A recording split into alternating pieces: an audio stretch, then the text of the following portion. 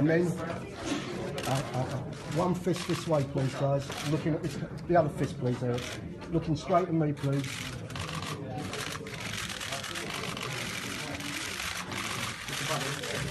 Annie, just down to the left a little bit. Guys, to the front. Anthony, to the front again, please, mate. Straight down at me. Down this way, please, James. Sorry, the guy at the back, can you just... Thank you.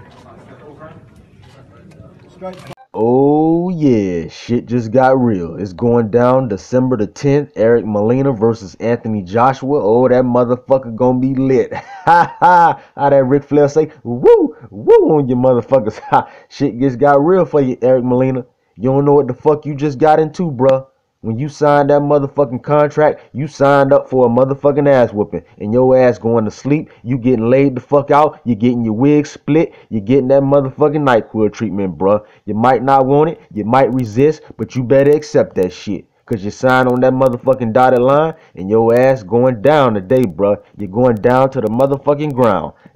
you got that shit right. And Anthony Joshua, y'all saw the face off. Y'all motherfucking saw it. He ain't motherfucking playing. That boy looking ice cold grill, looking real serious in this motherfucker. Anthony Joshua, he ain't going to play with this boy.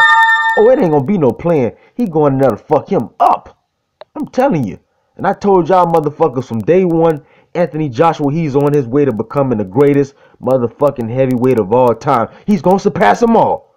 Iron Mike Tyson, Muhammad Ali, Lennox Lewis, Joe Louis, Deontay Wilder, Vladimir Klitschko. He will surpass every last one of those heavyweights to become the greatest heavyweight of all time. And Eric Molina, your ass just a stepping stone.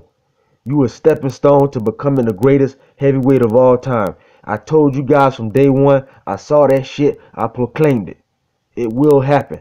And Vladimir Klitschko, if you want to talk some shit, you are, you motherfucker, you can get it next.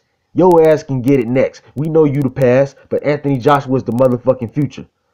So Eric Molina, take your ass whipping, accept this ass whipping. Klitschko, your ass is next, baby. You gonna get it.